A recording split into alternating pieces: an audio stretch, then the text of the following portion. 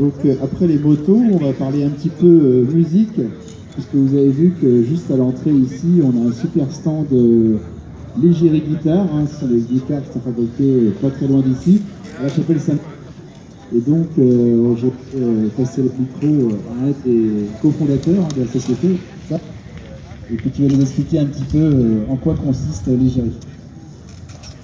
Alors, bonjour à tous. Thierry Guitare, de guitare, c'est fabriqué à la chapelle Saint-Ménin. Et euh, bon, je vais parler plus fort.